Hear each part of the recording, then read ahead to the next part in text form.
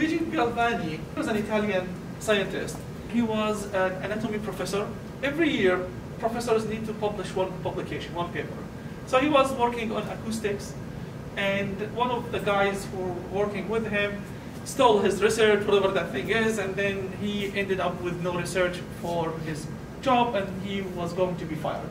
So he assembled a group of students, and they say, okay, let's work with electricity, and it was a big thing that time, 1791. And they were playing with capacitors and inductors. He's an anatomy professor, right? So he was dissecting frogs for a lecture, and one of the dissected frogs was placed on a table, and one of the students accidentally touched the nerve of that frog with an electrode connected to a battery.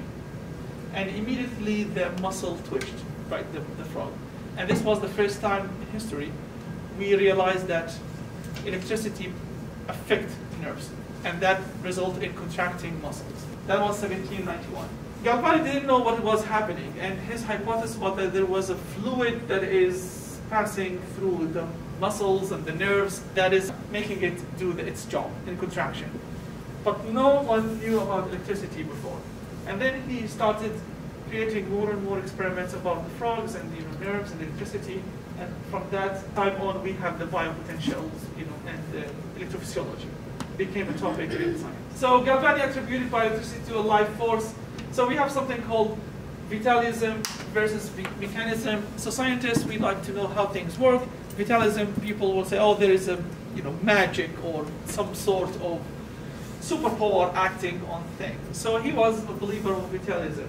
Then Alessandro Volta suggested that the effect was only due to the similar metals that was on the were in the table and the electrodes, and there was nothing into it. We don't have any potential electrical activity.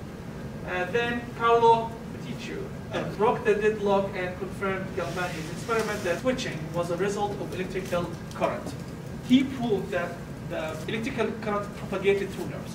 They were calling it current, uh, electrical current, but actually it was ions, it wasn't electrons.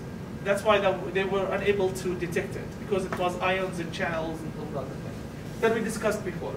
Petitio also showed that the action potential precedes contraction of the muscle. He also showed that action potential starts first, they can detect it, and then the muscle contraction happens. And that is another important finding. And then we have electrophysiology discipline and the basic notion um, to design certain, we, we start using, using biopotential and electrophysiology to design equipment. And that was the story behind electricity and medicine and how they were uh, related to each other.